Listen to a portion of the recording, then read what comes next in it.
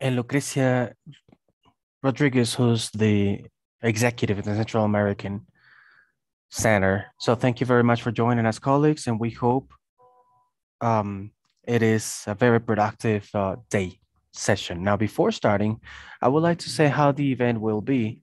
I'm going to start it with a small presentation with the aim of putting Latin America in the uh, global context and where we are towards the COP uh, 27, followed by, an, by another presentation of Federico Villarreal. He's going to give us more uh, a policy point of view, and then we'll have space for having a conversation with um, our panelists. And with this, I would like to start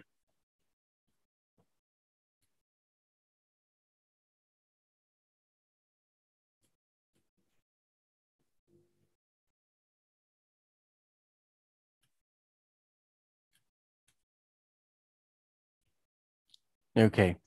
Obviously, climate change is a uh, very complex challenge for the agricultural and livestock sector because it's got uh, three components, the vulnerability of climate change effects, then how the sector is impacted, but it's also a great source of emissions of greenhouse gases effect, which is uh, part of a problem. And then we have also several opportunities. The sector has several opportunities to help reduce these uh, emissions and sequestration of carbon.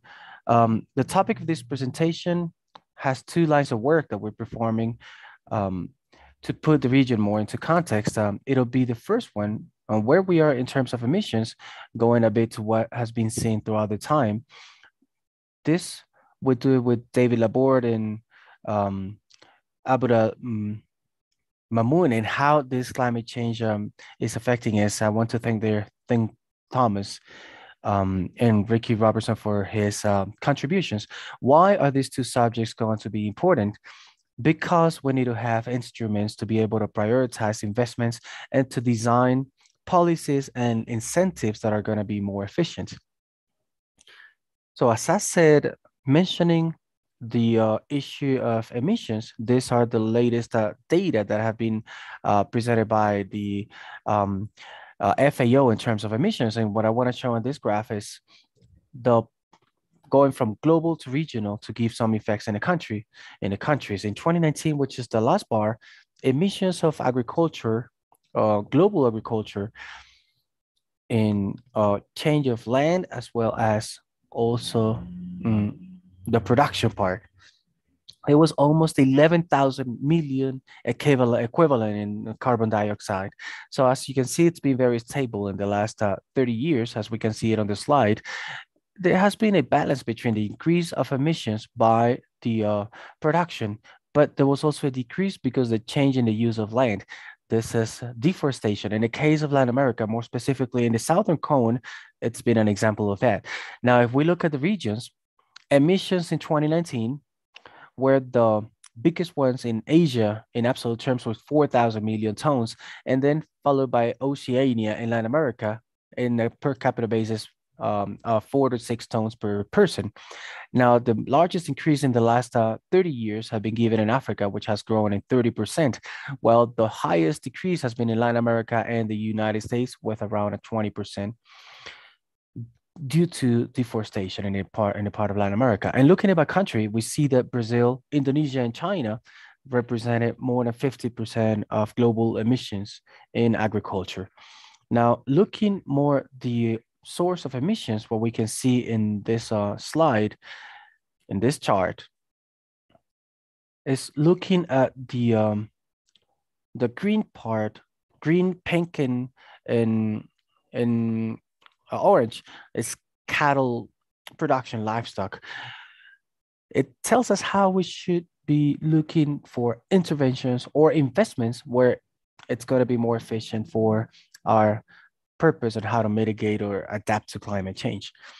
Now, looking at the same data of the previous slides, but measured by subregion, we could see that um, livestock represents a great percentage of emissions produced there are some differences depending on the sub-region. The first one is that the Andean and Central American countries have kept a trend uh, trend app in the sector, while the Caribbean and the um, Mercosur countries have uh, decreased in 2019, since 2019. The second one is that uh, Peru has the highest percentage of emissions in the farm due to uh, the use of um, agricultural inputs. And then South America has more use of synthetic uh, fertilizers. The fourth one is that the Andean countries in Mercosur have a bit more in the burden of the savanna, which is the uh, purple one. And the last, the last one is that rice is still important for the Caribbean and the Andean countries with their emissions. Now, this is the trend of what we what we have seen in terms of how we're doing in terms of emissions as a region and compared with other um, regions of the world.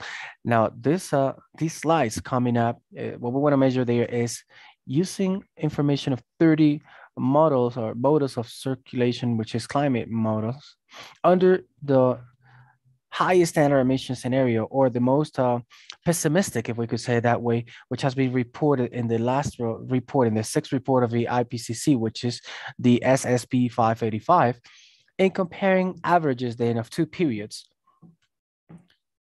Uh, averages of 20 years of two periods of 1991 to 2010 with the uh, averages of um, 2040 41 to 2060. And these figures, we're showing a comparison in the yearly precipitation changing the change in this uh, 30 models. What we can notice in this example is that grade reduction is given eh, and precipitations are going to happen in Venezuela, um, Guyana, northern part of Brazil, and there are high increases in the Andean um, ranges, mountain ranges in Brazil, and the southern part uh, along with Argentina and um, Uruguay. Now that map that I just showed is the median, right? Now, what would happen if instead we look at the two um, extremes of the two ends of this uh, limits of compensation, looking at the percentile at the 10th and 9th percentile, what we want to see what this is, that if we look at the two extremes, there is a great range of uncertainty as, uh, as we saw in one of the maps, which is the one of a 10th is represented in orange and in green, what gives us a view or a little bit of a different insight on where we are. Why is it important to take uh, this into account? Not only the median, but the two extremes is so that whenever we make decisions, we need to consider also this kind of information. We just saw was about precipitation rainfalls. Now, what would happen in terms of changes in temperature? This figure shows the maximum temperature per day um, in a median per year or every year. In the median, it shows the temperatures are going to increase a bit less in the southern corner in the Caribbean uh, with some homogeneity in all the region uh, compared to the uncertainty that we saw previously in regards to rainfalls or precipitations. Now, just to give you an example, if we look at the 90th percentile, which would be the most, um, the warmest uh, scenario, what these models show is that um, the Amazon basins, especially the center of the Amazon region of the Brazilian Amazon, could experience a great increase in temperature, which could have a meaningful impact in the ecosystem, just um, for informational purposes. Now, we already saw the part of emissions. We saw how precipitations are going to change and temperatures are going to change also. And what impact is this going to have now in uh, yield of some uh, products? So to model this effect of climate in yield, uh, using the um, uh, SSP model in this um, yield for a reference measure in 2005, comparing it with the yield that is going to happen uh, later on, um, showing five of the models that we mentioned before using the same scenario, which is the most uh, pessimistic. Um, this study, we did it for seven products, which was um, uh, soybean, um, wheat, rice, uh, sorghum, potato, and corn. So this was kind of a calculation. So this chart shows uh, soybean, and I'm going to highlight that in this in this case, what would be affected in soybean with no irrigation, in this case would be in 2050 compared to 2005. What we can see there is that in this large emission scenario, not taking into account the part that could be taken from uh, fertilization of carbon dioxide in leaves, that there are some studies that calculate that it could observe it. What we see is that Brazil and Guyana are responsible for two thirds of um, soybean crops that are going to have a reduction of 22% in the median, with a minimum of 26 and a maximum of 17. Now, one more example to see would be the impact on corn. It's exactly the same, but in this case, corn is a product in which it shouldn't be benefited too much by fertilization of carbon uh, from carbon dioxide. But we see that there is um, uh, there isn't much of a difference in this chart, but the message, the takeaway would be pretty much the same. It's losses in yield. It's going to be high losses, higher losses in Brazil, Guyana, and the Caribbean region. But we foresee that all the region in Latin America would lose yield uh, due to this, this, this um, scenario. Now, one more important point here is what we're seeing here is just about Latin America, but in the case of corn, all the world would be affected in terms of yield. Um, so we'll have to see what would be that comparative loss of the region compared to the rest of the world. Now, as we said, climate change will, will bring extreme temperatures, uh, water uh, scarcity, and especially volatility, as the impact as well as in terms of extreme weather and other consequences. So this kind of methodology is useful for the analysis of possible scenario at the time of uh, prioritized investments due to the fact that many investments are designed for 20 to 30 years investments need to make sense in a variety of possible future climates um, we'll need to have that into account. Obviously, in order to face challenges, we're going to need uh, increase to increase the resilience of a sector, um, measuring negative impacts, um, preventing them through insurance, monitoring, and other implements, and observing and reconstructing with what we're also going to need some funding or financing. So what shall we thinking about? First of all, is to have the appropriate financing level besides having an innovation and financial mechanisms that help um, reduce the risk in the agricultural and livestock sector. The second one is to work in the measurements, including all natural resources, not only um, technologies to have uh, uh, on emissions, but other aspects. And this methodology needs to have also uh, harmonized uh, indicators and also application of policies and regulations as for instance, um, labeling, not only to be there in emissions, but to cover other indicators that also have an impact in the environment. Now, the other one is um, the digital impact. We need to have solutions that include the trade-offs, right?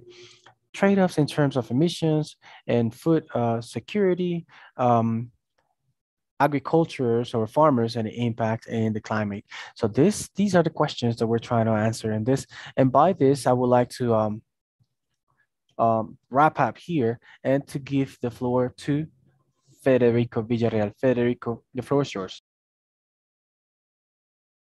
Thank you very much, Valeria. Good morning, everyone. It is a pleasure to be here in this event. Of course, thank you to the IFPRI for their organization and USAID, of course, for their support to the development of this event. My presentation is absolutely aligned to what Valeria just mentioned and complements in a way her presentation um, because we are going to talk about the agriculture in Latin America, specifically ministries in the Americas. We have been working with the IICA and with partners such as IFPRI and others. And we have been working to involve um, the agriculture in the Americas in the conversations about environment and climate. So I will start my brief presentation. Why is it important for the agriculture in the Americas, the next COP, COP27? First of all, because agriculture would be the main issue or one of the priorities of this meeting. And this is, of course, a consequence uh, uh, why this meeting is going to take place in Egypt. It's important for them, it's important for us. Second of all, because this is the right moment to consolidate the agriculture as one of the main issues of climate conversations. We, um, we have been one of the main leaders of the conversations on Koronivia, but agriculture itself in the COP will have a main axis uh, in the agreement of Koronivia. And to be able to achieve that, it's necessary support on the highest level to treat agriculture as a main issue in the COP. That doesn't mean that we should involve all ministry, all ministries of agriculture or agriculture in general.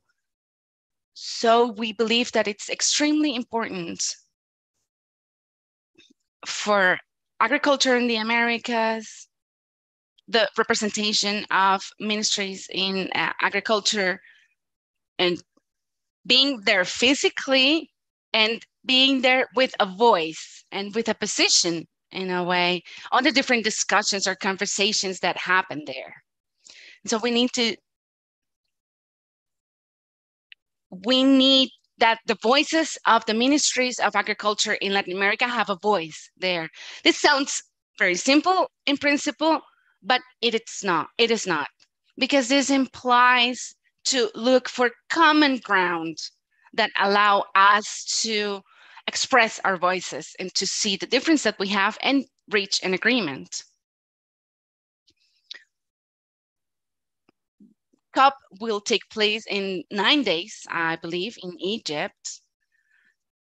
But the result of being in COP27 is the consequence of a series of activities that began at the beginning of the year. First of all, we had a meeting in May of this year where about 20 ministries of agriculture mentioned or talked about how to address jointly the need to transform the agri-food sector in response to climate change, specifically to have awareness of this issue and the timing in which we are discussing all of this. Some, sometimes in political conversations or in the political day to day doesn't necessarily happen. Then in June, again this year, we had the Summit of the Americas in the US, where countries with their um, respective ministries of agriculture participated. And so we had specific representations from each country. There was debates on several issues and we reached a statement at the end in which we declared the importance of bringing agriculture of the Americas in the COP27. Then in July, in the ICAM headquarters in Costa Rica, we had a meeting between Africa and America's um, ministries. We did this and we talked and emphasized and how agriculture needs to be taken into account in the climate change conversations and the need to consolidate the continental um, alliances and partnerships because agriculture and the presence of agriculture in the framework of global discussions exceeds by far the limits of the um, hemisphere of, of the Americas. Then in also July of this year, again, in the headquarters of the IICA, we had the agriculture, um, Inter-American Agriculture Board. This um, we have we had representations from all 13 countries, members of this um, body, and we talked about the work that we have been doing and they also emphasized through a resolution, which is the, the mandate that the Institute gets to drive the progress so that agriculture in the Americas has a voice and a presence in the COP27. And finally, in September of this year, so a bit over a month ago, also in the IICA headquarters, we had an American Summit on the um, on agriculture in climate change or climate action. And so we consolidated the preparation and the agreement that countries of the Americas, the agriculture of the Americas will take uh, will take to the COP27, which again will happen in nine days. It's worth mentioning that this was an on-site meeting and we had great participation and engagement from min, um, ministries of the Americas, as well as other strategic partners who are key to this job, to this work and this um, progress. We had several uh, organizations there, and there was great consensus and support on the need to get to a consensus meaning that we know there are several differences, but we need to find common ground so that we can go to the COP articulately, all 34 countries. This is how we reached um, an agreement. I would say a unique agreement given the issue, although not the only one. The IICA had previously, a year before, reached consensus on the needed transformations of the agri-food sector. This happened over the summit in the framework of the United Nations last year. And so this would be the second consensus to which we reach involving messages, a common message that the agriculture of the Americas needed to be um, in the conversation of climate change. Some key messages that we want to share. I'm going to share a link at the end which summarizes, or not really summarizes, but broadens everything that I'm saying here. And you will see the text of those messages. But the core of this discussion is what are those messages that we're going to take there. First of all, that the climate and food crisis. Um, agriculture is part of the solution on both of those crises. This highlights that we cannot affect food security to resolve climate crisis. And at the same time, we cannot tackle climate um, food crisis affecting climate crisis. Those are not contrary solutions. They need to go hand in hand. We need to find solutions to both crises, and agriculture is part of the solution. With aligned with what Valeria said, we need more and better policies and investments to reach better sustainability of agriculture. We need specifically national, but mostly international investments to um, strengthen those progresses that have been made. The costs and risks of climate crisis cannot be exclusively assumed by producers and um, by uh, producers in general.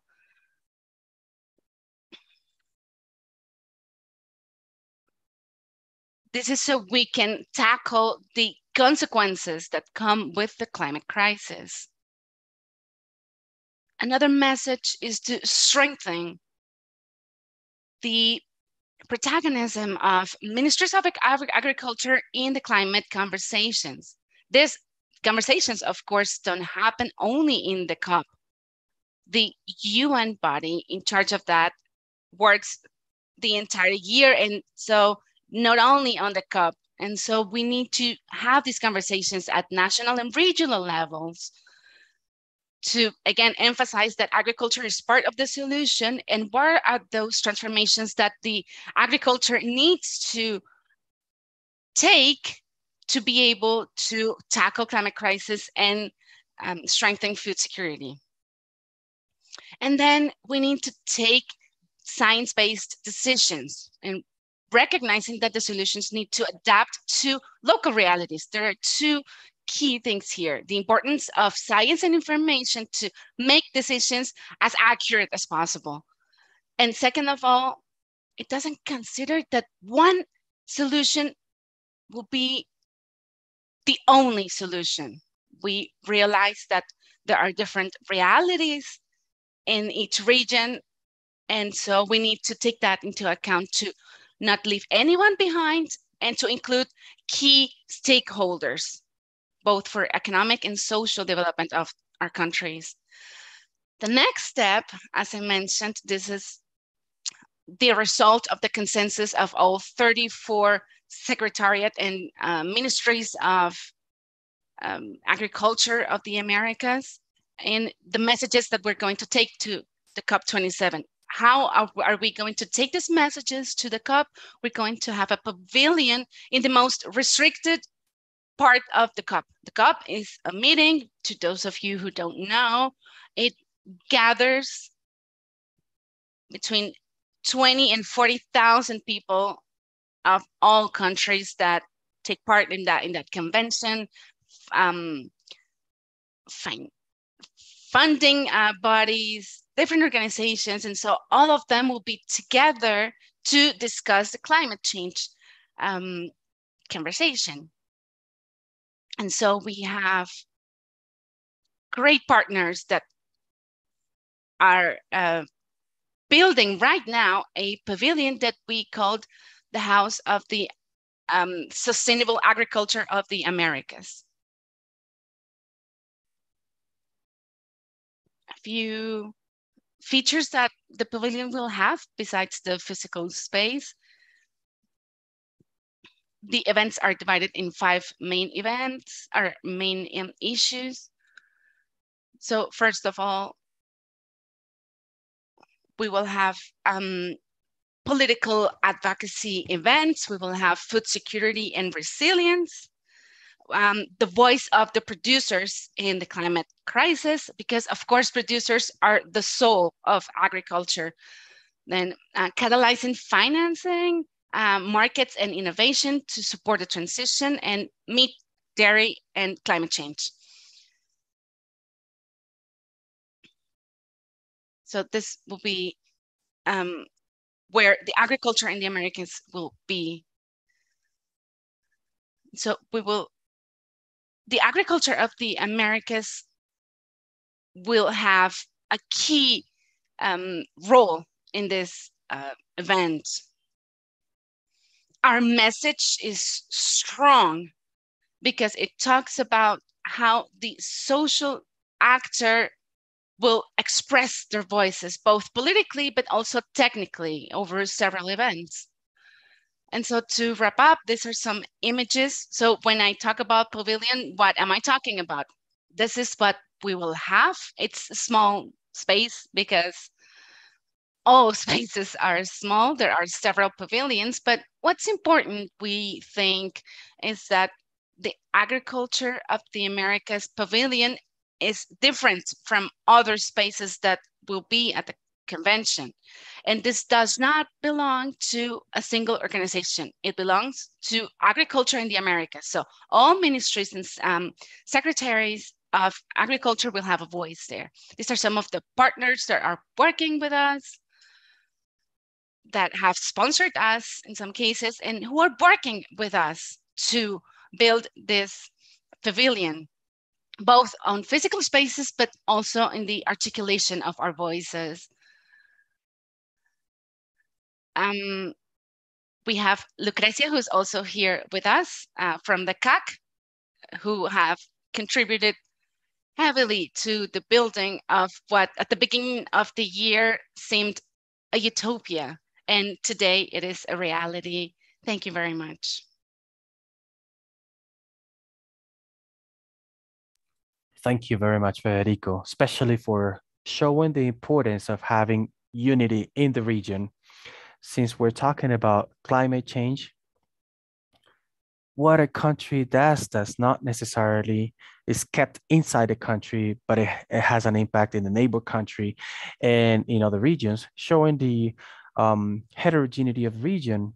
Each of them will have a different uh, capacity to react and to adapt in regards to climate change, but it has to be a conversation constant communication and collaboration among the whole region. So by this, I wanted to open the second part of this event, which is going to be our conversation with the panelists that I already introduced at the beginning of these events. And uh, whoever needs to know more about each of them, please go on our website uh, in the link of the events where there is a link towards the curriculums and information about each of the panelists. Now, by this, I would like to start with a question which perfectly matches with um, what Federico just, uh, just mentioned, and it is saying, okay, what are the main three challenges you consider in regards to agri agri agricultural and food uh, problems in the region and before the climate crisis? I would like to start with Walter. Walter, if you could answer this question, please. Thank you. Uh, good morning to all of you, and thank you, um, Valeria, and all the organizers for the uh, opportunity of participating on these events. First of all, I believe um, the characteristic and the size of these challenges implies um, that it is way better that countries work, states communicating among one another, exchanging experiences, results, success cases, or failure cases, so we're at a new scenario, and therefore maybe a new generation of policies is required where rural development problems, the um, increase of agricultural and livestock uh, mm, productivity, the uh, development with inclusion, etc., social and economic uh, and environmental um, actions incorporate the climate action in a comprehensive way. So historical policies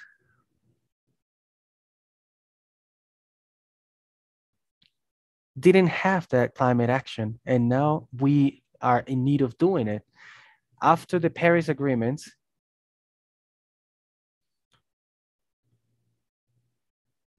it is reformulated the fact that it is just concentrated in developed countries. But now, all countries will have to to uh, take an ambitious climate action in regards to adaptation. And I would like to emphasize the um, the vision of of um, of youth as it was said many adaptation actions have many other dimensions as mitigation, the care of, of land or soil. So a co-benefits vision is more is richer than a strictly limited vision to just one dimension.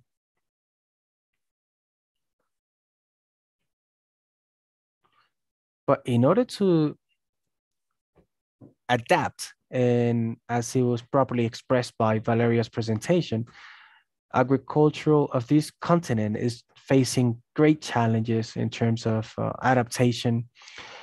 And adaptation is not the same in the whole region. It's not even the same inside each country. It's not even the same in each item or line item inside um, each country. So we'll have to start by better understanding how it can get to affect us mm, depending on the climate scenarios 20, 30, 40 years from now is key. And uh, as a second point, today in the agricultural policies menu, we have on the table the need of being part of um, global instruments as it is, for instance, the um, the uh, the uh, SDG uh, for uh, objectives or goals for 2030, uh, which is uh, improving the irrigations and as it is the goals related to the Paris agreements but also as seasonal adaptation plans. So um, I believe a good experience of the policy is that from the ministry, whenever it was understood in 2010, the core importance of adaptation with co-benefits, which are social economic co-benefits. The minister defined that priority and we came back to say, okay, and what does adapt adapting means um, who adapts how shall we adapt so there we realized of the heterogeneity of the problem and of the importance of um, covering the different dimensions of the problem in a medium and long-term national adaptation plan. And I believe that we were the 13th country in getting a national adaptation plan and the first one in registering a sectorial national adaptation plan for agriculture. Formulating the plan itself in itself is a progress, but then we have to implement it. And to implement it, we need resources. And there it is related to one more question, and it is how do we get that financing? And finally, as a third um, element, not to go beyond the three minutes, I think in this uh, learning stage, it is key to, in, to link research, development, and innovation. That process uh, involves science, as what Federico was saying, and it also uh, involves uh, main uh, stakeholders of reproductive sectors, um, producers, and those three legs, which are public policies, public policies, science and technology, and social stakeholders have a lot to contribute in the formulation of policies, and they are key. So we need to strengthen uh, links with research and development so that it can provide better grounds for uh, designing of policies. And we need to also formulate policies that promote inclusion. Now, in regards to new challenges, we cannot have the same responses as before. We need new responses. That means innovation is core to the um, process of, of uh, accounting for the challenges that we're having in front. Just, just, just one more example. Very interesting when you were showing Valeria the scenario with CO2 fertilization is an amazing scenario. The other one is less important because, I mean, fertilization positively affects the leaves of the plant because um, it's a plant of C3 type photosynthesis and it responds to CO2. It's, it doesn't happen to corn. Doesn't mean that we need to that we need to stop planting corn, that we just need to plant soybean. There's another problem there. So if we only plant soybean, we'll have other kinds of problems, problems of soil, um, carbon uh, in the soil. So um, there is an example there that there aren't there, there aren't any simplistic solutions. Local solutions are that we have a lot to learn among um, ourselves or one another from what other people are doing. And that's going to be important in this process. I'm sorry for taking more than three minutes. Thank you very much, Walter. And we're, we'll be answering, we'll be, you answered a question that we had for you, like it was what kinds of policies should be promoted or avoided. So thank you very much. Um, your, your comment was very um, appropriate. So um, Sabine, I would like to ask you the same. What are the challenges towards the uh, sector given the current situation? Yes, thank you very much, Valeria. Thank you for the invitation to participate in this event, which I believe is key, especially with these goals that we're proposing ourselves. And maybe I would like to propose three like more macro challenges. Then there will be a lot of uh, specific points, but I believe it'll be mitigation, adaptation, and financing.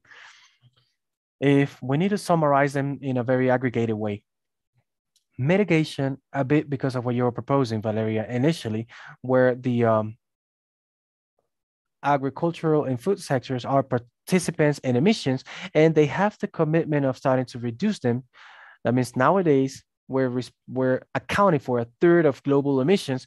And as all the rest of the sectors, we need to go towards mitigation of the latter. And especially in that trajectory that the Paris Agreement establishes, we do not only need to reduce as all other sectors, but we have an additional commitment in avoiding emissions. So they're, they're all the uh, nature-based uh, solutions where the sector that work, work in a natural capital, we have even a higher challenge, right? And then this related to an increase in, in productivity. You say those trade-offs that generate um, sustainable food systems where we need to increase the food production, which we know it's been de-accelerated in, in the last years, in the last years per capita. So obviously we need to keep on producing more. And that's where um, you were mentioning about the uh, utilization of fertilizers. We cannot think in an increase in productivity without thinking in a change of uh, soil. That means increasing to higher surface without mm, uh, needing more fertilizers with uh, and to to feed the planet and the world in the agenda 2030 in terms of adaptation it's a great challenge because we need to produce more but we are a highly vulnerable sector to climate change.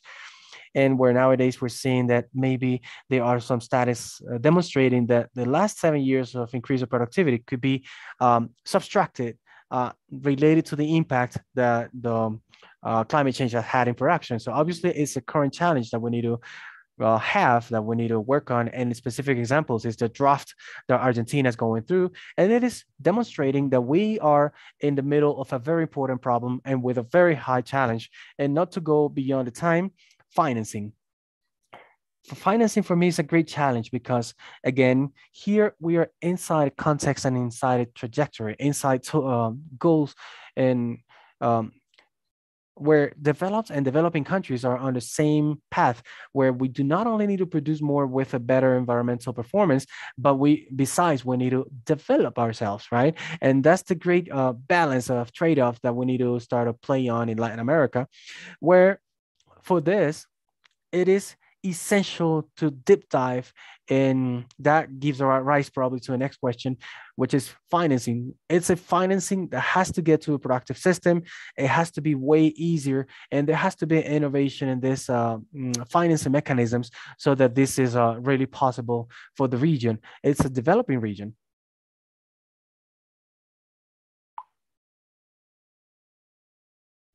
Thank you very much. You used key words there trade offs, mitigation, adaptation, and financing. It's important to keep all of this um, in mind. And then to, um, to the next question, Maria Mercedes, how do you see the possibilities and challenges in the access to financing? Um, thank you very much. Thank you, Valeria thank you for this invitation. Since FAO, we're very excited to be able to participate in such an important panel, people who know this issue very well. So the main challenge could be accepticism. Not believing in what we're talking, not believing that the agriculture can be different. So the main challenge in that regard is to prove with real information, scientific data, that we can carry out sustainable, resilient agriculture, even in even low in emissions. So from FAO, we are supporting several projects in the region who are looking to face the changes of climate, um, the, of the climate crisis, promoting sustainable and resilient agriculture, and the benefits, as mentioned, as Walter mentioned, is key also. So we have a publication in 2021 excuse me.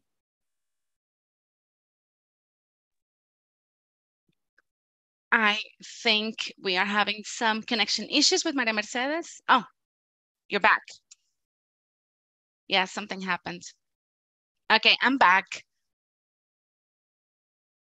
I was talking about how on certain countries, Brazil, Chile, Colombia, Guatemala, Honduras, we have had many, even in Mexico, we have had great experiences on how to align the Paris Agreement with an inclusive and sustainable agriculture. And then there's the wrong perception that mitigation measures to climate change are more expensive than not. So in the FAO, we have carried out several research on that in our latest uh, 2019 report on uh, risks.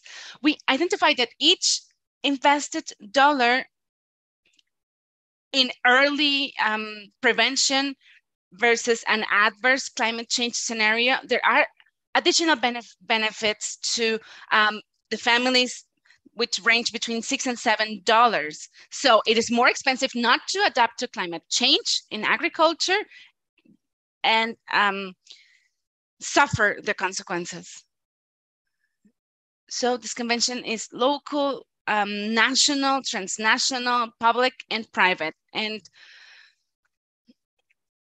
what the, the countries um, have now is to be part of, of, of, the GAF, of course, which is entering in 5.3 billion um, capitalization, which are now available for countries. And then there is the World Fund uh, for the Environment, which is um, the ultimate mechanism to finance uh, contributions to climate change from countries. So there are international financing to which countries can have access to and complement with a fiscal fund. Once countries have shown that agriculture can be sustainable, then they can have fiscal uh, financing which complement because this is this transformation is expensive if if if it's not done on time. And so there are several sources of financing, both international and fiscal. Private sector, of course, has a key role in this sense. That's it from me. Thank you very much. Lucrecia, I don't know if you want to share something, you know, from um, their stance from the ICAC. Thank you very much. Yes, definitely. I believe that in, among those challenges, there's something that's very important.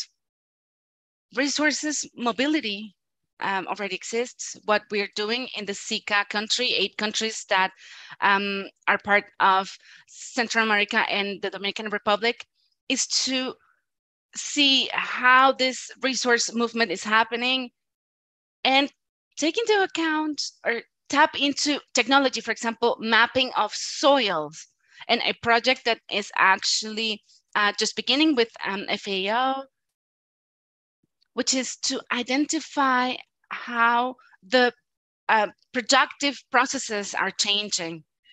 Because if this is key information, this is strategic information, which will allow governments and producers to have a, an accurate decision making why is this happening? Or why do we do this? Because to mobilize resources properly, we need to have an agriculture which knows what are their, their needs, that is mitigating risks. And something that's really important, which is restoration of soils, but of course, in an effective way. So what we are doing is an integral work we are developing um, eight countries on that regard.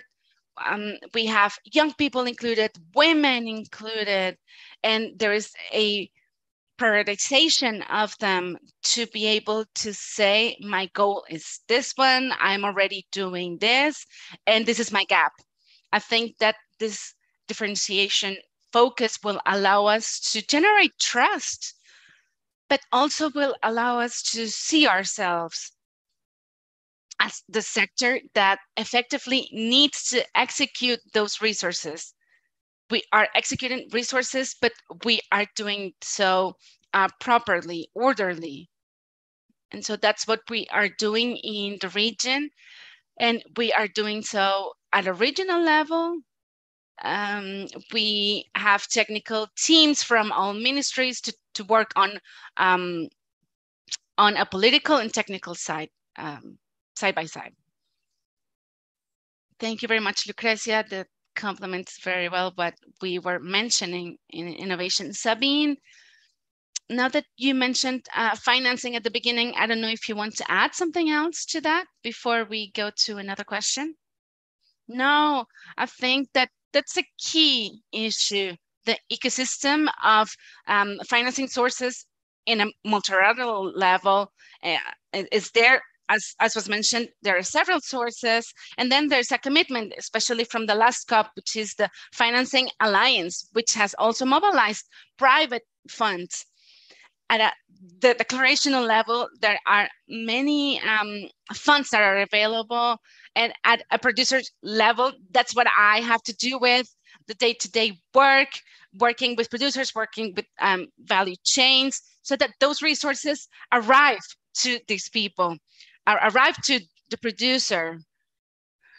And so that this will allow them to, let's say, um, have a special disclosure to have access to other funding, which is not simple and in the day to day.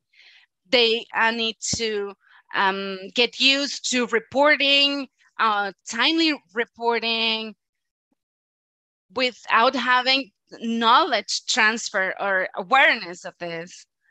And there are several funds that are available, but need um, sovereign uh, guarantees through governments, of course. And this, of course, poses barriers to the producers, which ultimately is the one that has to mitigate, is the one that has to implement um, sequestration practices, and is the one that needs to increase their yield. So the bar is set very high, and the need to find incentives is the question that we, the ones who work um, on territories, are being asked. Okay, who's paying for this? Not not just the production, but who's paying for the work that um, is needed to be able to meet those requirements. So how do we get these resources to the producers, to their plants in each of our local economies. Thank you very much, Sabine. And so this is one of the main questions that I have regarding this issue. I think that there's a danger that of um, atomizing or, or diffusion of these funds that may happen. We have a lot of money but what is the most efficient way to manage this to don't have two different certifications to uh, different applications uh, with different indicators etc this is what uh, makes so complex uh, having access to funds without increasing costs uh, problems uh, training etc so thank you very much for that. Now i would like to switch gears. Um, and I want to ask what should be the role of the ministries of agriculture in this context? And not just that, but how do you see the interaction between uh, ministries? Because it's it's not just agriculture ministry, but also environment ministry. So how would you handle that relationship? I don't know if Madam Mercedes, maybe you want to answer that question. Thank you. Thank you very much, Valeria. Yeah, so in this case, Walter already mentioned the importance of planning, of national planning for um, climate change and the uh, mitigation strategies and even the definition at national level of the uh, determined um, national determined contributions. And so this is when both ministries, agriculture and environment, need to create and state policy. That would be the way in which we see that interaction between both ministries. After um, having uh, full agriculture crops, uh, forestry, livestock, etc., we need to see how those two ministries converge. And we do that through planning, national planning, as I mentioned. There are countries where there are roundtables on climate change where all sectors come together. Actually, today we're talking about agriculture, but there are other sectors. States get together through roundtables, climate tables, min, uh, broadened ministries.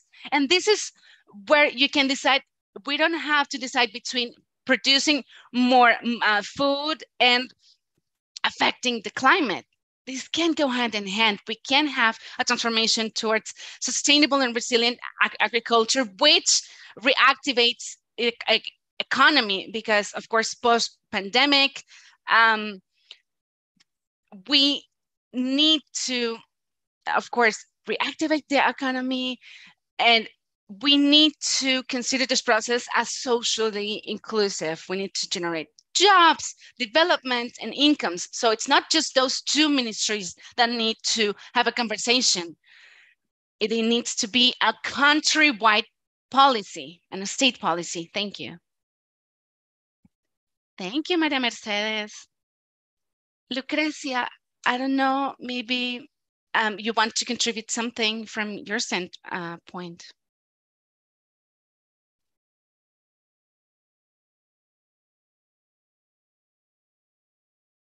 Thank you very much, Valeria. Yes, I wanted to share that from the SICA region, we already started that conversation that needs to take place between agriculture and environment. And that joint work that we are doing a, on a political level, that's how we're going to the next COP, to COP27, to have a new intersectorial meeting. We have already had two. And what we are doing is uh, designing agendas and establishing what are the responsibilities uh, that uh, have to do with agriculture to have more active agriculture with the interest of resolving structural problems that the sector has in productivity, for example, which is one of the main challenges, as was mentioned before, but that won't happen unless we um, have an order in what we're doing. And so we are developing a strategy, uh, a FOLU, which involves, of course, issues with uh, responsibilities in biodiversity, agroforestry, that's uh, the Achilles heel that has the agriculture, which is sustainable livestock management, and and to have um, value chain of livestock that, of course, um, can help us with food security. So that is why from SICAC, what we are doing is to have an integral approach to all the programs with adaptation mitigation with strategic information. We already have the model functioning, which is what we're aiming at, so that the political instruments and strategies are uh, which are being executed are already validated on the field.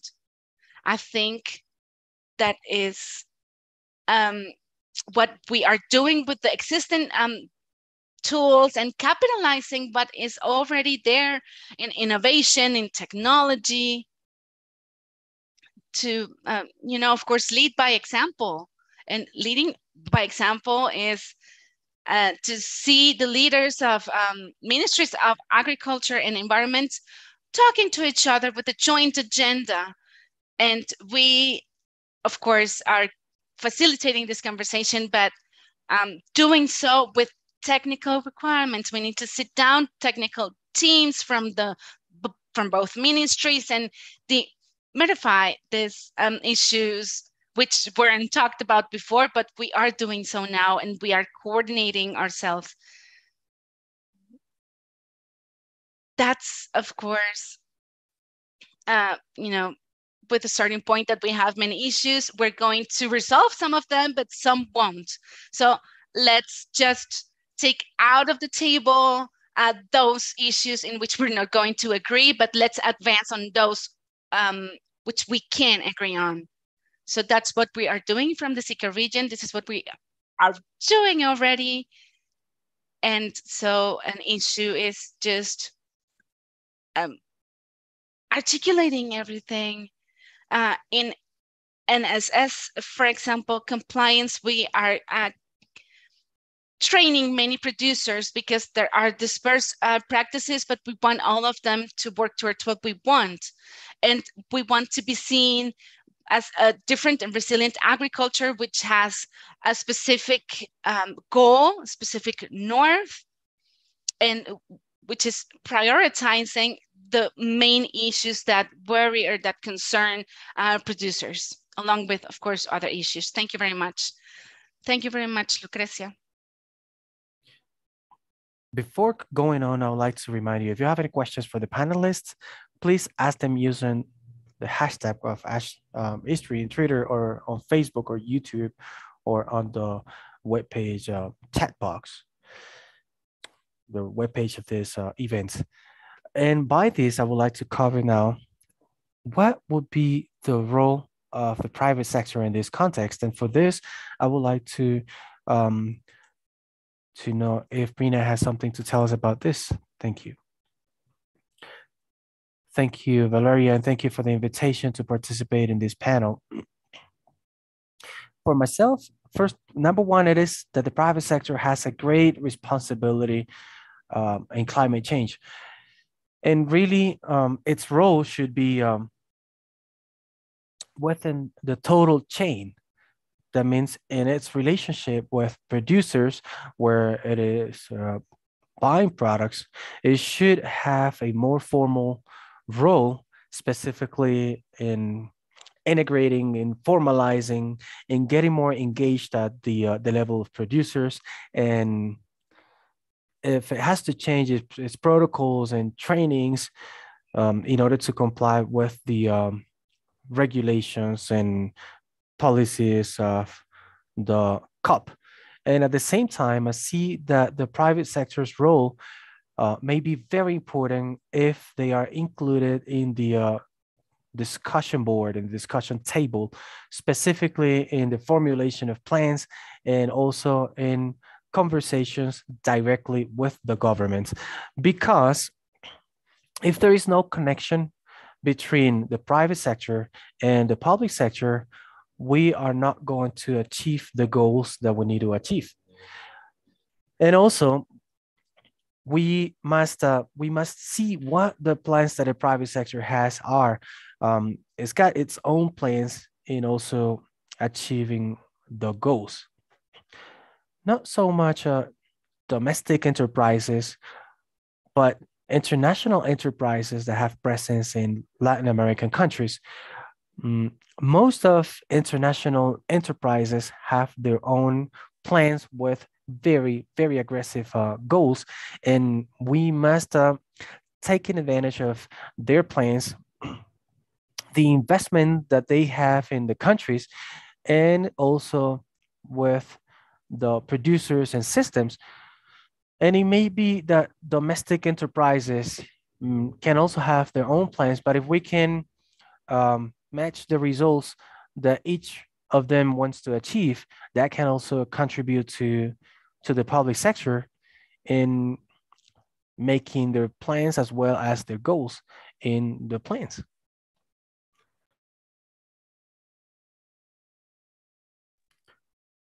Thank you very much, mm, Brina. And I would like to ask a last question to Walter in terms of he uh, you worked a long time in, in the ministry of agriculture S seeing it from inside how is that relationship between ministries and the private sector? Walter i don't know if maybe you want to share something with us just in one minute. Yes um, i'm very pleased that that was uh, for 21 years in charge of the climate change unit of the ministry of agriculture. So i've gone through different moments of of um, uh, cross ministerial relationships. Up to 2009, in Uruguay, we had a relationship, seeing climate change as an environmental issue and as an issue of the Ministry of Environment portfolio. And therefore, any attempt of the Ministry of Agriculture to integrate to that work was not easy, was not simple we did not have complementary relationships, but it was most it was more of competition. Of uh, starting from 2009, it, radically changed because the new vision was that climate action is is essentially a, a, a, subject of development. Therefore, it involves it engages the Ministry of Environment, but also the Ministry of Agriculture, but Ministry of Finance, Ministry of Social Development, but also uh, Public Health Ministry, etc. And also um, local governments representation, as well as consultation and financing of science and technology and the private sector. So what's called the uh, climate change response national system was created. It it make it cross-sided at the level of the government, at the national and subnational levels, but it, but it also integrated um, the environments of consultations uh, from the productive sector and from the uh, academic sector.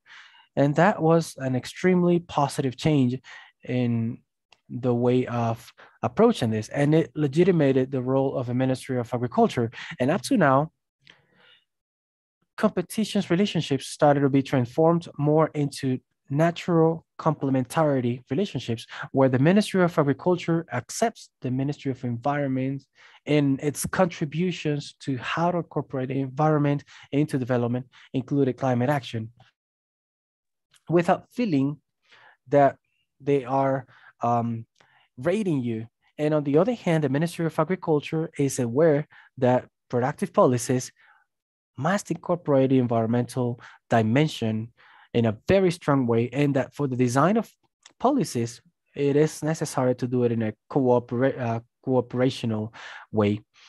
And I think Ministry of Economy and Finance are also very important on that.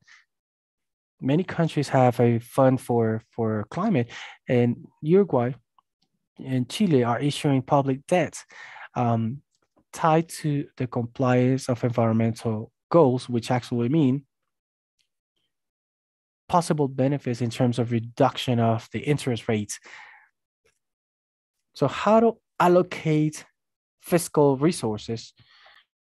And if a Ministry of Finance does not understand that it is more expensive um, to to cure than to prevent, um, it's, it's it's quite difficult. It goes beyond the cross ministries relationship. And then the other thing that I believe is very important is of working in an articulated way, in a joint way. It's not only at a national level, but also at an international level. How to co-participate in the main international forums related to obviously climate action climate action convention is an essential event as what federico said a moment ago the cop27 is going to at some point give um, a light in regards to if countries can agree to continue in the agricultural work or not and today we are in in a difficult situation where there was a, a stage that was just finished and another stage is starting. How that new stage is going to be? Well, that is something that we'll see if um, if there are um, any uh, conclusions on that. And finally, I think the agenda of the Ministry of Agriculture in regards to these uh, international subjects, it has to be broadened. It has to go beyond corrective actions. For instance, it started with the um, Glasgow Sharm el Sheikh um, agreement in the global adaptation um, goal. It's not sectorial, but it is a vulnerable sector as it is agriculture. So how the global goal for adaptation is going to develop and how it is going to incorporate the work in agriculture through adaptation and Ministry of Adaptation and also other entities. Well, the Ministry of Agriculture has to include this and it has to take uh, into account losses and damages because there are a lot in the sector. I'm getting to a conclusion now that it is difficult to to approach the Ministry of Culture to international cooperation. But besides, it's, it's more complex because it's not only limited to continue uh, in this cooperation, but it has to be looking at other lanes where things are decided that end up being very important for agriculture. And of course, financing. So let's not limit ourselves to just cooperation, but we have way other things. Okay, thank you very much, and uh, Walter. And it's it's nice to have the voice of experience. And now, um, Frina, I would like to ask you, what are the kinds of actions that US, uh, USA, uh, USAID uh, is taking to support the agricultural and food production sector in climate change? Thank you. Thanks. USAID has uh, years of working in climate change issues, specifically in the agricultural and livestock sector. In the COP in Glasgow, um, we did the launching of a climate change policy. That's a public strategy. You can see the uh, policy in our website. And something that's very interesting is that within this plan, we put a goal in supporting 80 countries with um, in the world, supporting them in in their uh, plans. And in the COP in Egypt, we are going to launch something to coordinate within Latin America the implementation of those actions in different countries. It's called CASI, and it is it is a comprehensive um, action plan against uh, climate change. And um, we know that there are legal, political, technical, and uh, financing issues where we need to focus on plans to make sure that implementation is appropriate, is doing well. And specifically, we are going to make sure that this growth that we can see within or we can have within these plans, that this growth is is, is properly inclusive, is that's very important for the agency. I also want to mention what's Feed the Future what Feed the Future is, which is an initiative that has uh, more than 10 years, where the approach itself is in agriculture, but always in design and implementation um, where, um, of our challenges, where, where we, um, we see how to mitigate and decrease climate change. So that means that we're properly coordinating with the private sector as well as with the public sector at a national level and municipality level. And we're working on that in agroforestry, in uh, management of basins and micro basins, and also directly with producers as how we can uh, strengthen good agricultural practices and also in the um, adoption of new technologies and new practices which can also strengthen resilience of producers on how they can face uh, climate changes. so that's also very, very important. At the same time, we have a project that's called CASA, which is an activity in the support of um, climate change, climate change adaptation. And in that, we also have five years in which we have invested resources in this activity. And this activity is also focused on the um, implementation of um, NDCs plans um, in several countries within the region. So as USAID, um, and as part of the um, uh, Biden and Harris administration, we have a very strong uh, uh, focus or approach in, in mitigating climate change. So for ourselves, it is um, a great priority. And I agree in Federico's presentation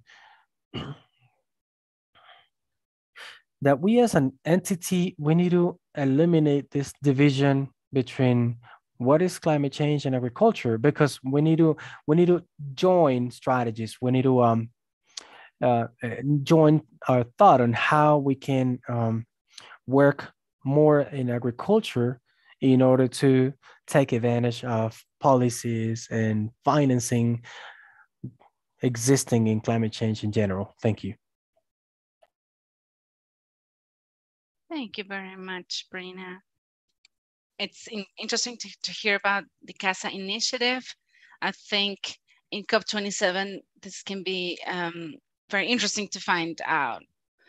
Okay, we're about to wrap up this event and I would like to summarize a few questions that we have gotten from um, internet, especially from Marcelino Avila, but also many others. So I want to synthesize everything in just one question.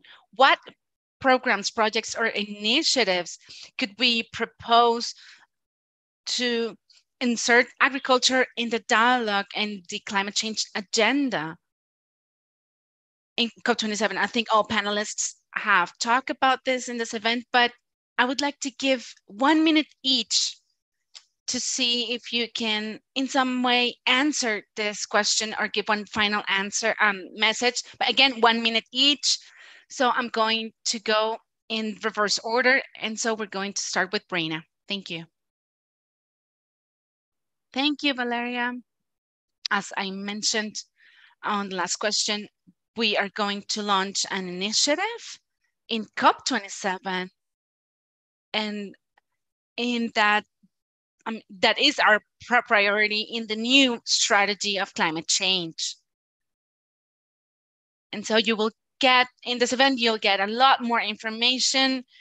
Um, which countries are we going to focus on, as well as the work that we are going to carry out in the implementation of those plans. We, because we have uh, funds to invest invest in the Feed the Future countries, we have new projects on several countries in the region, which are going to start at the end of this year. And in each project, we have a different focus on how to mitigate climate change. So there's going to be a lot of work from USAID on this issue. Thank you, Brina. Lucrecia, a minute.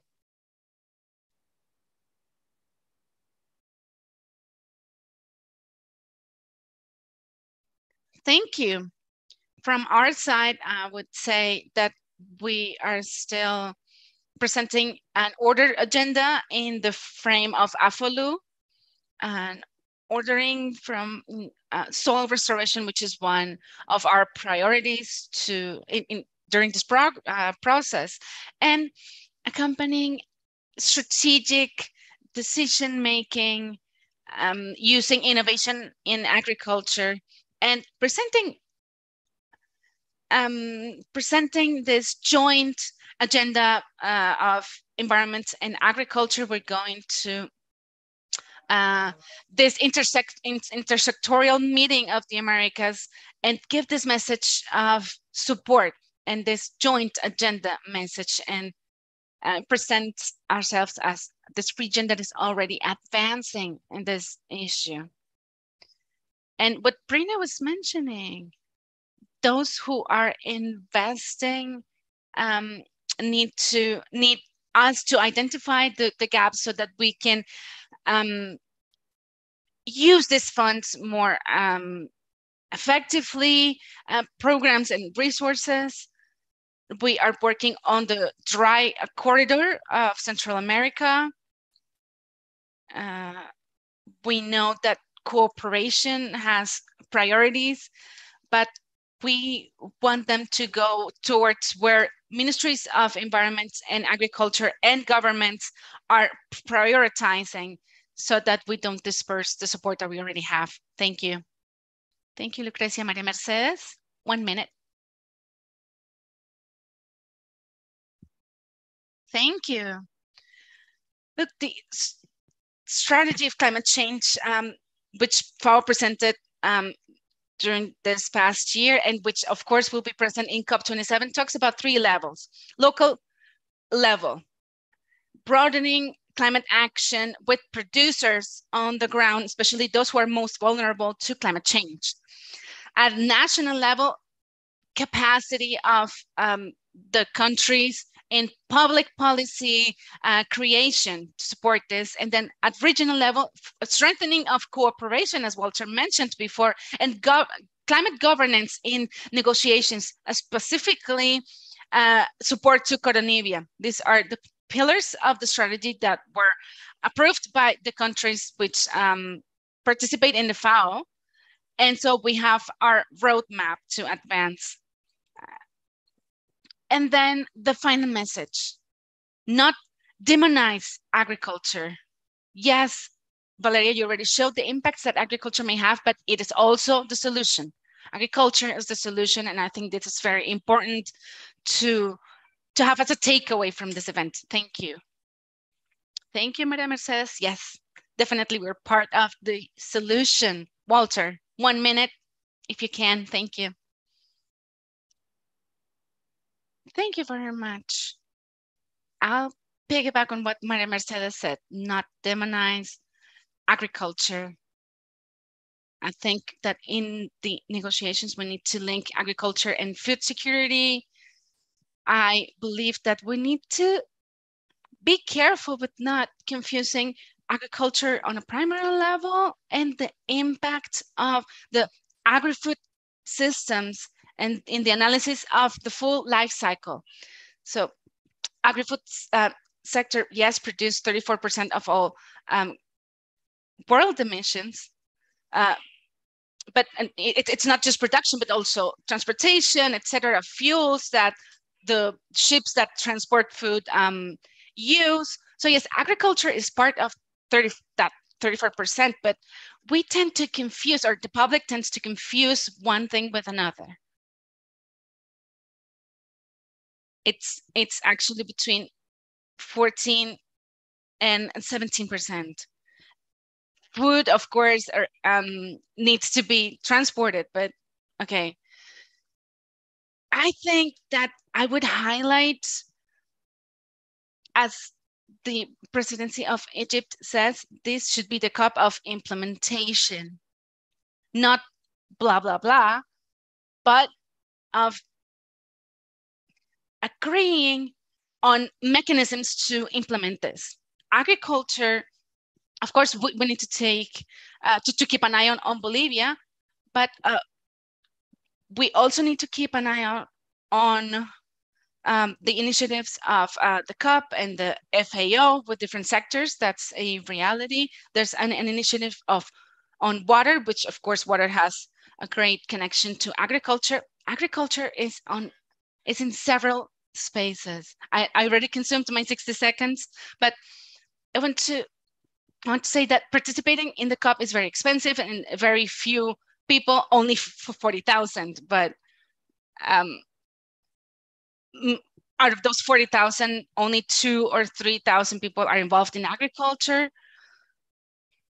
Um, it, it'd be great to broadcast the events that are happening on agriculture to everyone else. So, so just not only people who go to the COP can have access to those events. Thank you very much. Thank you, Walter.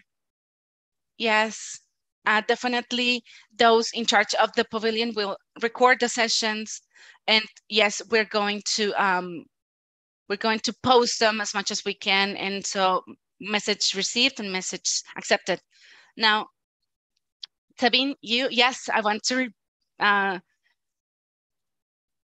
to ag agree with everything that was said but also what do we expect from the COP about innovation what we're doing right now still isn't enough to get to the goal that we have set.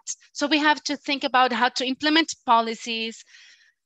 Where do we find that incentives so that this can be implemented and it has a result, a positive result, both in the increase of yield, but also increase of environmental performance and the reduction of emissions or the environmental impact in general. And to there's a key issue here, which is to think about a policy that looks for implementation and incorporation of both knowledge, because we've been um, saying that answers are, aren't unique, but each sector, each process has their own calculus, has their emission um, indicators, even a lot, one uh, one lot next to another one have different impacts. So it's important that we start measuring um, our with um, own indicators to have a val added valid, um, excuse me, value added, as Walter mentioned. But then we need to think about technological free conversion of the sector, new green technologies. And for that, we need investment it, it goes back to that financing and going from discourse to implementation so that we can involve a digester in the process uh, to have um, a greener um, logistics, greener packaging, even new fertilizers with new technology or um, genetics that has a lower impact, lower environmental impact. But let's be innovative. Let's look for alternatives because we uh, need to get there. Thank you. Thank you. That was a great message. And of course, this makes us look forward to innovation. Federico, maybe in, uh, we, we have two minutes left. Maybe in those two minutes, you want to uh, say something about what we've mentioned so far? Two minutes, really. Okay, I'll try to do in to do it in even less time. Brilliant, great interventions today. They are all uh, really um, valued. What Sabine was mentioning and what Walter was mentioning, I'll piggyback on. We need a new generation of public policies. It doesn't mean to uh, throw away what what exists, but yes, we need to rethink about this when um, thinking about um, climate change to include social um, stakeholders.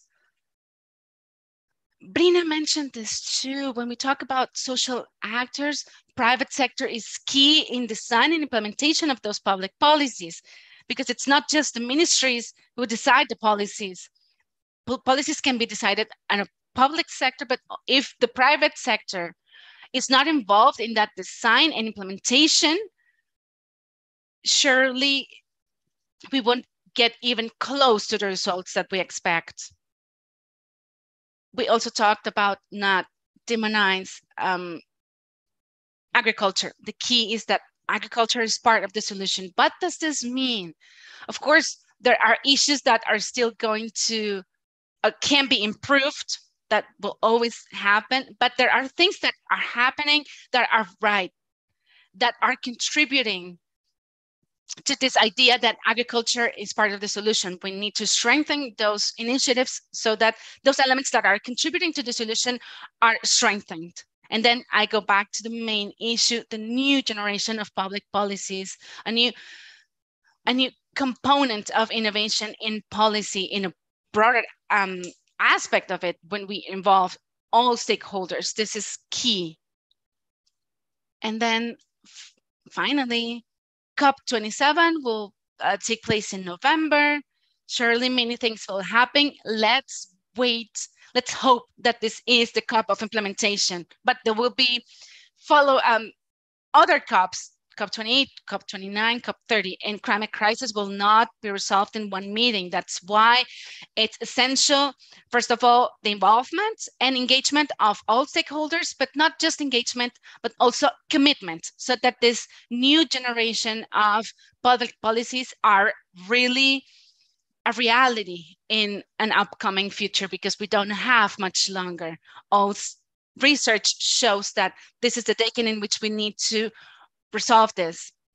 We have in the IICA, we have a public policy observatory because of course there are many countries where um, these policies are being developed and that can be used in the design of other public policies in other spaces. So I encourage you to follow us, uh, all the activities of this pavilion where most sectors will have great interventions, of course, as we hope happen.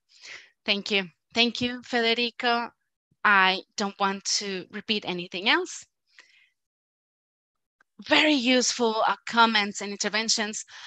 I thank you again, IICA, USAID, of course, for being our um, co-partner, our partners, uh, of course, of the IFPRI, and our panelists, because you have been great.